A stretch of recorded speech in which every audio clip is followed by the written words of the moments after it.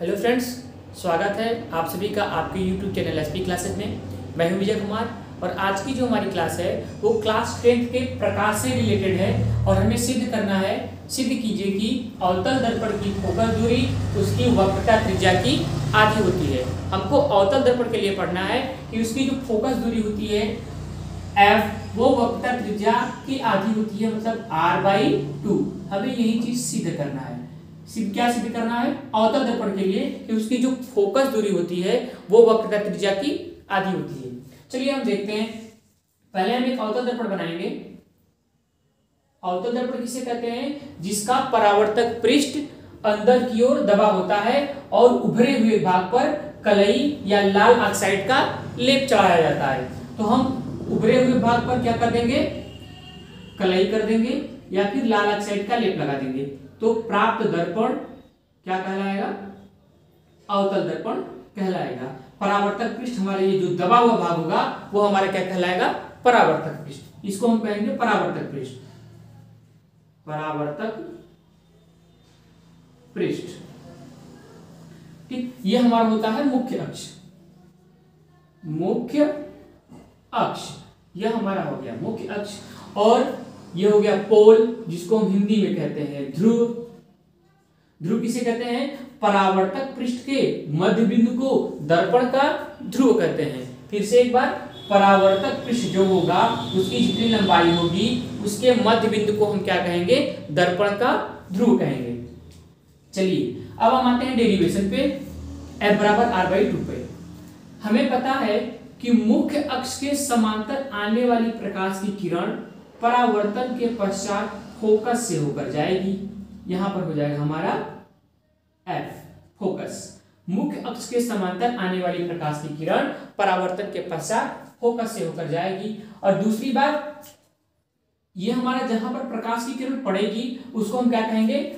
आपतन बिंदु। जिस पॉइंट पर वो प्रकाश की किरण पड़ेगा, इस दर्पण के जिस परावर्तक पृष्ठ के जिस बिंदु पर प्रकाश पड़ेगा, उसे कहेंगे आपतन बिंदु। और हम यहाँ से मान लेते हैं ए से प्रकाश चला था। बी पर पड़ा और फिर एफ़ से होकर निकल गया। अब देखिए, अब यहाँ पर यहाँ पर ऐसे एक हम अभिलंब डालेंगे। आपतन बिंदु पर एक अभिलंब डालेंगे। तो उसको हम डैश लाइन से दिखाते हैं। ये ये और इस पॉइंट को हम कहेंगे सी और सी क्या होता है? वक्रता केंद्र होता है। क्या होता है? वक्रता केंद्र। मतलब अगर यहाँ से एफ़ से पी ध्रुव जो होता है, उसको हम पी से डिनोट करते हैं। यहाँ से एफ़ से और पी के बीच की दूरी कहें तो यह होता है हमारा एफ़ जिसको कहते हैं फोकस दूरी, और सी से पी के बीच की दूरी की बात करें तो इसको हम कहेंगे आर जिसको हम क्या कहते हैं? रेडियस ऑफ़ कर्वेचर या वक्रता त्रिज्या। और हमें यही दिखाना है कि जो फोकस दूरी होती है, वो वक्रता त्रिज्या की क्या होती है? आधी होती है।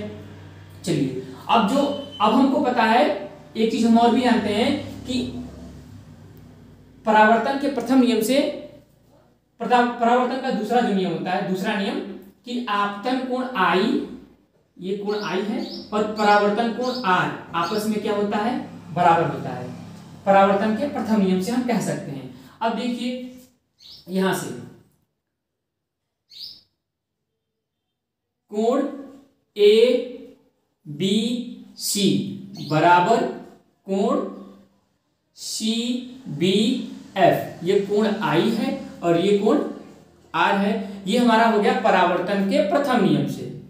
सॉरी परावर्तन के द्वितीय नियम से। परावर्तन परावर्तन के नियम से लिख सकते हैं। परावर्तन के नियम से। परावर्तन के नियम से हम क्या कह सकते हैं? परावर्तन के नियम से कह सकते हैं कि कोण आई और कोण आर आपस में क्या होते हैं? बराबर होते हैं। अच्छा। अब देखिए, दूसरा देखिए, इसको हम समीकरण एक मान लेते हैं। ये हमारा समीकरण एक है। अब देखिए, हम बात करते हैं कोण ए बी सी और कौन सा कोण? कोण ए बी सी बराबर होगा किस कोण के? बी सी एफ़ के। किसके? बी सी एफ़ के। ऐसा क्यों? क्योंकि ये देखिए, ये दोनों समांतर रेखाएँ हैं। ये दोनों क्या हैं? समांतर रेखाएँ हैं और समांतर रेखाओं के एकांतर कोण आपस में क्या होते हैं? बराबर होते हैं। मतलब ये कह सकते हैं कि कोण A B C A B C किसके बराबर होगा? बी सी एफ़ तो ये भी, ये कोण आई है तो ये भी हमारा आई हो जाएगा। बी सी एफ़ आपस में क्या हो जाएँगे? बराबर हो जाएँगे। तो इसको हम कह सकते हैं समीकरण दो। अब देखिए, कोण आई बराबर कोण आर है और कोण आई बराबर कोण बी सी एफ़ है। तो यहाँ से हम कह सकते हैं समीकरण, इसको हम दिखा सकते हैं कौन सा कोण है? एकांतर कोण। कौन सा कोण? एकांतर कोण। ठीक? अब हम कह रहे हैं समीकरण एक तथा दो से। समीकरण एक तथा समीकरण समीकरण दो से, समीकरण एक तथा दो से हमें क्या प्राप्त हो जाएगा कि कोण जो, ये देखिए इधर भी आई है, इधर भी आई तो इसका मतलब ये दोनों आपस में बराबर होंगे। मतलब क्या हो जाएगा? कोण बी सी एफ़ बराबर कोण आर कोण बी सी एफ़ बराबर कोण आर ये पॉइंट हमें मिल रहा है यहाँ से। अब आते हैं इस त्रिभुज में। कौन से त्रिभुज में? त्रिभुज बी सी एफ़ में। त्रिभुज बी सी एफ़ में। यहाँ से आप देखिए कि कोण जो बी सी एफ़ है, कोण बी सी एफ़ मतलब ये कोण। और सी बी एफ़ कोण ये ये दोनों कोण आपस में क्या हैं? बराबर हैं। दोनों कोण आपस में क्या होंगे? ये दोनों कोण आपस में बराबर हैं। तो ये त्रिभुज में देखा जाए तो कोण बी सी एफ़ बराबर कोण सी बी एफ़ और ये जब किसी भी त्रिभुज में दो कोण आपस में बराबर होते हैं तो उन्हें कहते हैं समद्विबाहु त्रिभुज। मतलब यहाँ से आप देख लीजिए यदि कोई दो यदि कोई किसी त्रिभुज में दो कोण आपस में बराबर होते हैं तो उन, उनकी सम्मुख भुजाएँ भी आपस में क्या होती हैं? बराबर होती हैं। और ऐसे त्रिभुज को हम कहते हैं कौन सा त्रिभुज? समद्विबाहु त्रिभुज। समद्विबाहु इनकी दो भुजाएँ आपस में क्या हैं? बराबर हैं। तो यहाँ पर देखिए ये वाला कोण और ये वाला कोण दोनों आपस में बराबर होगा। तो ये वाली भुजा और ये वाली भुजा आपस में क्या हो जाएगी? बराबर हो जाएगी। तो यहाँ से हम लिख सकते हैं कि त्रिभुज बी सी एफ़ कैसा है? सम द्वि समद्विबाहु। समद्विबाहु त्रिभुज है। कैसा है? समद्विबाह त्रिभुज है, जिसकी कौन कौन सी भुजाएँ आपस में बराबर है? सी एफ़ और एफ़ बी सी एफ़ बराबर एफ़ बी यहाँ से हमें ये बातें मिलेंगी कि जो सी सी एफ़ होगा, वो एफ़ बी के क्या होगा? बराबर होगा। क्यों? क्योंकि सी एफ़ बी जो हमारा त्रिभुज है, वो कैसा त्रिभुज है? समद्वि बाहु त्रिभुज है। अब आते हैं आगे। आगे हम बात करेंगे कि यदि ये जो दर्पण है, यहाँ से हम लिख लेते हैं M1 इसका और यहाँ पर लिख लेते हैं M2 ये जो M1 और M2 है, यहाँ से सीधे जो व्यास खींचा जाएगा, जो इसका द्वारक होगा M1 और M2 की जो लंबाई होगी, वो क्या कहलाएगी? द्वारक कहलाती है।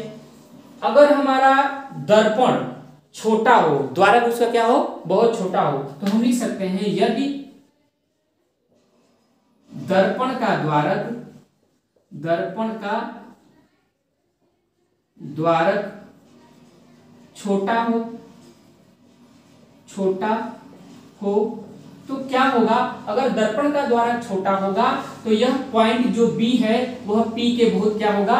नज़दीक होगा। मतलब यहाँ से देखिए कि यह जो अगर दर्पण छोटा हुआ तो ये जो पॉइंट बी होगा, ये कहीं ना कहीं इसके आसपास होगा, बहुत पास होगा। तो यहाँ पर जो बी पॉइंट होगा, वो पी के क्या होगा? बहुत ही नज़दीक होगा तो हम कह सकते हैं, वो तो बिंदु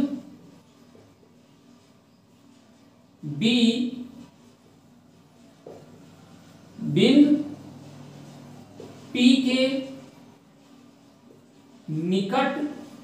होगा।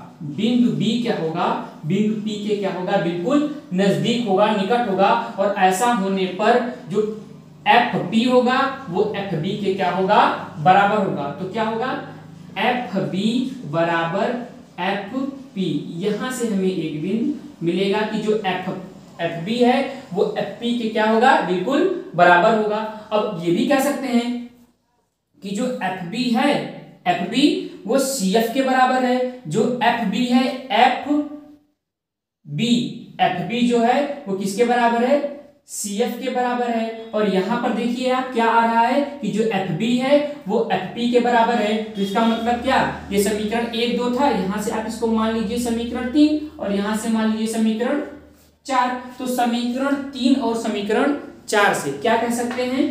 समीकरण तीन तथा समीकरण चार से। क्या कह सकते हैं? कह सकते हैं कि जो सी एफ़ होगा, वह एफ़ पी के बराबर होगा। क्या कह सकते हैं? सी एफ़ बराबर एफ़ पी ये पॉइंट देखिए, आपको याद होना चाहिए। याद क्या होना चाहिए? अगर आप प्रूव करेंगे तो ऐसी चीज़ें यहाँ पर आएँगी। ठीक है? तो सी एफ़ जो है वो सी एफ़ जो है वो एफ़ पी के बराबर है। मतलब यहाँ से देखिए फिगर में सी एफ़ बराबर हो गया एफ़ पी के। अच्छा अगर हम बात करें, अगर हम बात करें कि सी एफ़ कितना होगा? सॉरी सी पी कितना होगा? सी पी सी और पी मतलब वक्रता त्रिज्या आर कितनी होगी? तो यहाँ से आप ब्रेक कर सकते हैं कि C F plus F P CP किस सी सीपी किसके बराबर हो जाएगा? सी एफ़ एफ़ पी तो C F plus F P हम लिख सकते हैं। और यहाँ पर देखिए जो सी एफ़ है, वो एफ़ पी के बराबर है। तो सी एफ़ की जगह पर हम एफ़ पी लिख सकते हैं। तो यहाँ से सी पी बराबर कह सकते हैं कि एफ़ पी प्लस का एफ़ पी मतलब या सी पी बराबर टू एफ़ पी या फिर अब देखिए यहाँ पर वैल्यू रख दीजिए। सी पी क्या है? सी पी क्या है? इसको हमने आर से डिनोट किया था। कैपिटल आर से, और आर क्या होती है? आर क्या है? वो दर्पण की वक्रता त्रिज्या है। तो यहाँ से हम दिखा सकते हैं आर बराबर टू, और एफ़ पी क्या है? फोकस दूरी स्मॉल एफ़ तो यहाँ से हमको मिला एफ़ आर बराबर टू एफ़ या एफ़ बराबर आर बाई टू। फोकस दूरी बराबर वक्रता त्रिज्या बटे दो। हम इस तरह से अवतल दर्पण के लिए हम यह दिखा सकते हैं कि जो फोकस दूरी होती है, वह वक्रता त्रिज्या की क्या होती है? आधी होती है।